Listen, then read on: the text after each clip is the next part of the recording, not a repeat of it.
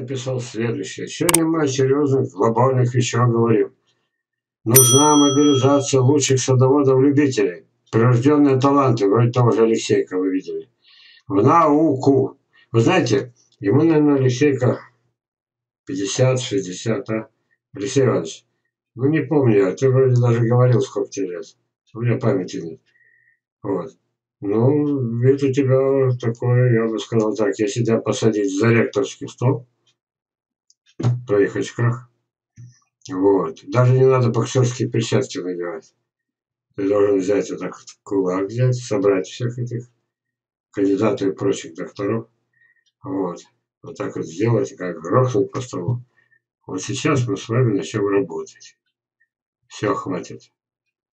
А каждый студент, если вы будете ректором в ВУЗе, у вас будет ездить по стране, вот, захочется диплом получить, пусть по области, не обязательно по всей стране.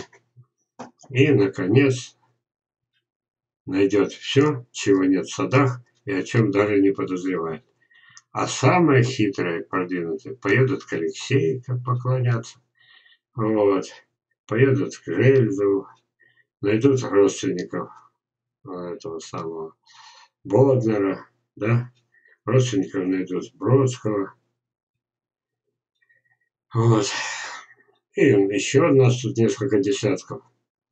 Вот. А эту самую Брянский институт Плепина, где с таким, с такой, эти самые, звериной, звериной, звериной любовью уничтожают черешню, а потом говорят, это самый северный черешня в мире, не подозревая про Боднера. Вот. Развеянные технологии, чтобы они не могли двигаться на север. Вот. Вот туда бы я Мезенова Олеговича, вот, шофера-дальнобойщика я бы туда отправил бы директором. Вот. Это примерно так же, как Лысенко назначить академиком, вначале академиком, потом президентом академии, простого агронома. Вот это было бы дело. Постулат Железова. Селекция, отбор лучших садоводов и лучших садов массового любительского садоводства в тысячи раз эффективнее научек из-за нашей же массовости. Королевский сорт абрикосов Сибири вызывает недоверие у обывателей и оторопь науки. Любой сорт, я отвечаю за базар, любой сорт из Средиземного моря можно вырастить в моем саду. Любой. Все сорта Средиземного моря, да, они прошли правильно ледниковый период. Ну, а дальше что? Дальше все понятно. Но я тут все спросил, как? Ладно, отвечу. Абрикосам нужно вернуть память о ледниковых периодах. Она у них есть. Я в прошлый раз говорил нашелся молодой ученый, который все-таки доказал, что это самое, ДНК это не железобетонная конструкция, что там много вариантов плавает рядом с этим самым, с молекулой ДНК. А? Вот. А железо уже до этого 20 лет доказывал. И Бродский, и Боднер, и Латенков. Я на себя не гребу. Я вам еще не все это, не, не, не все эти доводы привел. Подумаешь, непрерывный персик, да? Королевский. Он еще и таким стал. Он расплылся, видели те фотографии? Ну, а вот свидетели защиты. Если бы был бы суд и сказали, Железов, э, как бы сказать, оклеветал науку. Вот при Сталине это могло быть. Кто-то бы поехал бы в лес э, рубить, или я, или они. Вот. И даже позже уже могло быть так. Клевета. Понимаете? клевета. И вот тогда бы я сказал, ребят, любуйтесь, сейчас поменьше сделаю. Ну, смотрите, температура за три зимних месяца. Проходили в тех фильмах? И раньше проходили. Ну, ну и где разница? Где юг? Где здесь кусочек Украины, а? Ну, еще два слова. За бедного гусара замолвите слово я взялся на свою обязанность все напоминать, напоминать до самой моей уже смерти. Про уникального садовода. Его последние слова незадолго до смерти, когда я фотографировал его вот это. Константинович, мы с сыном прошерстили все интернет, меня нету. Как ему горько было, он уже знал, что он умрет. Представляете, меня нету. Мы обменялись книгами, я ему вот эту мою, он мне вот эту. Не прошло месяца, книга ушла. Кто взял, кто не вернул. Ну, понадеялся на порядочек. Нет у меня книги, вот этой. А мне начали звонить. Эту книгу бы надо бы найти, оцифровать. Я давай искать, вот вспомнил. Вот у кого есть такая книга, а? Это наша Юлия Матвеева. Моя духовная дочка, моя ученица. Живет в Омске, у нее есть книга. Ну, кто хочет, тот ее найдет, потому что есть такая, называется «Питомник растений властелина». Там она, ее мама Наталья Матвеева. Вот. Найдете. А зачем найти?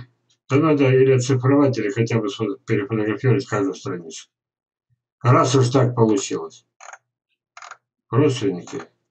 Писал сыну, ответа нет. Звонил, ответа нет. Вот. Одно из его достижений, что у него выжил мой привезенный с Украины сорт, самый крупный, который я в руках держал, 150 грамм. Ну, это два раза меньше, где-то грамм 70. Вот. Но сохранил же. А вернуть ему 150, поработаем, вернем. Дожить бы. Еще один вариант. Вот теперь представьте себе, что вот это привито было мной по принципу Манжурис, потом шел Королевский. Королевский, получается, донор, подвой. А вот этот был привет. Что с него сделалось? Ну, верите, нет? Похож на Королевский. А меня мордой. Вот. Но это уже современный снимок. Вот. Не помню, что рука, скорее всего. А может, моя, может, Елена Александровна. Вот подвой, вот привой. Это вопрос о взаимовлиянии. Постулат Железова. Вегетативные гибриды – это не миф, а реальность. Но только в единственном экземпляре. Вот понимаете, мое открытие мирового уровня. Почему? Как развести по разным углам ринга. Я беру на себя страшную ответственность, страшнейшую. Потому что больше некому. Потому что этим надо заниматься. Надо было сделать тысячи прививок, надо было следить. У меня много фотографий именно в этом плане. Если когда-то я ранний железо, а я тоже бывал разный, говорил, что мы делаем прививки, чтобы сохранить сортовое качество. Но с косточками не получается. Все. Вот. Что делать? Что делать? Прививать. И тогда мы сохраним. А потом я уже объявил об этом на весь мир. Ну какой мир? Те, кто меня слушал, те, кто меня читал. Вот. И сейчас говорю, надо только прививками заниматься. Хватит там этих сеянцевых гибридов, надоели. И у нас и так все, все хорошо. 50 тысяч первый, 50 тысяч первый сорт, а яблонь нам не надо. Только деньги теряем. А здесь так. Проходят годы, я с ужасом смотрю. Ну, уже эту тему закончу. Добившись идеального результата, я начал его терять. Это одна крайность, подчеркиваю, одна крайность. Итак, прививая, ладно, не буду выше листать, любовались, привив на манжурец, академик, а на академика Королевский я получил этот шедевр. Видите? Моя линейка выдала мошенников, которые украли эту фотографию. Моя линейка. Это мое счастье, что я линейку использовал. Так вот, это был шедевр. На следующий год шедевр стал таким. Делаю прививки. Я хоть и повторяюсь, но это надо. Нет, еще не делаю прививки. На этом же, вот уже такой. Вы думаете, все измельчал маленького? Ну, измельчал. Но проходит лет 7-8, он становится вот такой. Ничего общего. Смотрите. Ничего общего, да? Это пропускаем. И вот это, это сделали, вот это, оно же, но это на второй год, а вот это у меня же все, как бы сказать, там, с циферками. А вот это все несколько лет. Удержать не удалось? Не удалось. Но можно считать, что это, это, это шедевры? Можно. Делаю прививку, я железо. Пять прививок. Может больше, но удачных пять. Там Родион, Родион, вот это еще какой-то, как дальний родственник выглядит, как сирота. Ну, этот получше, но мелкий. Этот э, тоже хорош, да. Какие-то черты проглядывают. Но все равно меньше. И, наконец, этот еще меньше. Я когда, когда эту фотографию говорю, ребята, когда наши придут, с руками уговорите, стащите его с крана, оденьте наручники и везите прямо в Москву, чтобы там у президента Академии наук или у министра сельского хозяйства он написал заявление, и за него написали зарплата, подпись, высокая должность. Вот. Один из руководителей, например, Тимирязевки. И пусть все это туда переезжает. Ну и сколько можно-то? Ну сколько? Они не то, что этим не занимаются, им это в голову не приходит. И тогда я написал. Ну, повторяюсь маленько. Я же вернулся, чтобы показать, что мне не удалось удержать этот шедевр. Это одна крайность, так, одна. Но, как я получал вот эти вот, это еще у меня такие фотографии сотни. Как я эти чудеса получал? А это? Ну, не это. А это? А это самый первый, э, вот он самый первый королевский. Мыльницы сфотографирован. Вот. А это как я их получал? Это предельно эти цифры. Это предельно, видите? Вот. Что будет потом? А потом они могут чуть-чуть потерять. Вот. Чуть-чуть потерять в этих самых в своих в размерах. Ну, может быть, морозостойкость тогда не теряет, а она даже увеличивается. Ну, опять поколение за поколением манжурца. Ничего, переживем, нет. Вот давайте еще раз. Если вот такие будут, переживем, а такой переживем, а такой переживем. Да в академиях-то об этом и не мечтали даже таких. Вот. А потом что нужно? Вернуть память о ледниковых периодах. И тогда их можно будет удержать. Почему? Потому что когда это было, Елена? Вот когда я самая крупная фотография, помните, у вас в руках были по 120 грамм плоды? А может по 130. Ну вот показывал. Это же был 2020 год и 2021, вот те самые крупные. Ну, не догадался обставить. Да неудобно показывать одно и то же. Потеряли они крупность. Они еще больше стали. Ну и от урожая зависит, согласен. Вот и все, что я высказался. А вот это вот миф развеяли. Значит, не надо ради какой-нибудь там это а, коммерции, ради конкуренции принижать коллег своих. Я так не делаю. Вот. Если вы не украли ни одной фотографии, за что я буду вас это? Я буду вас уважать.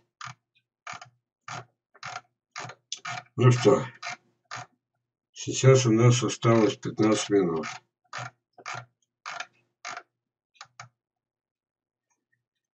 Итак, вегетативная гибрида не миф, а реальность. И самое главное, один из моих выводов, самых важных выводов, потому что я расталкиваю и развожу по разные стороны, хоть это самомнительно, само, как бы с таким наглостью, самомнением, я развожу лысенковцев, мичуринцев по одну сторону ринга, а по другую так называемых генетиков. Вот. Значит, можно сказать, правые те, но правые те. Можно сказать, не правы те и не правы те. Итак, вегетативный гибрид я вам показал десяток? Настоящие, стопроцентные. Помните, слева на абрикосе? Вот.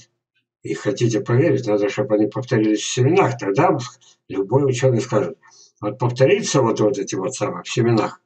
Вот тогда это точно будет новый гибрид, а он не повторится. Тогда надо посадить 100 семечек с этого вегетативного гибрида. И, о чудо, на двух, трех, пяти, ну, если по, допустим, по Менделю, 25 случаев листа повторится. Но только на юге, а на севере не в 5, не, не в 20, не каждом четвертом места, а может быть еще в 10 раз меньше. Может быть только в двух-трех. А можно ли считать это доказательством или нельзя? А, вот в том-то все и дело. Кто-то скажет можно, а кто-то скажет нельзя. Прихожу к выводу. Это мой важнейший, один из важнейших вебинаров. Вот. Почему я отдельным фильмом не снял? Снял, но вот сейчас выделяю этот момент по той простой причине, что когда-то это будет в учебниках. И будет новое направление работы. Несколько направлений. Только потому, что я утверждаю, и я считаю, что это истина последней инстанции, проверенная на моих сотнях опытов. Вегетативная гибриды реальность, но в единственном экземпляре. Еще раз, вот он. Вот, этот суперсорт.